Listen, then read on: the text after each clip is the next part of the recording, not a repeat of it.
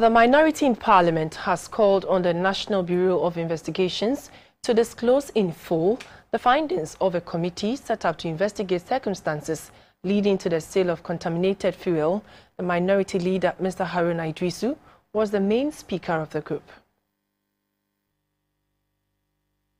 The mere selling of contaminated oil matter to motorists.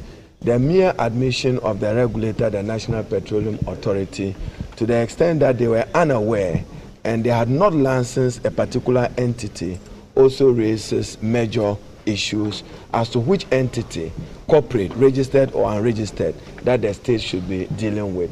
The BNI will have to come uh, public to share with us what they have investigated and what their findings are, and not just a mere statement to the effect that the minister should dissolve his uh, committee. We believe that this action of the BNI is can only be sowing the seeds of corruption in our country and then also allowing and preventing sunshine on matters that is of public uh, interest.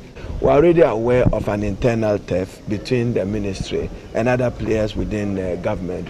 This reticent development we find unacceptable and therefore if the president means well in fighting corruption, he should not be seen supporting any cover up and must allow the ministerial committee to proceed henceforth with full investigation of the matter and report publicly.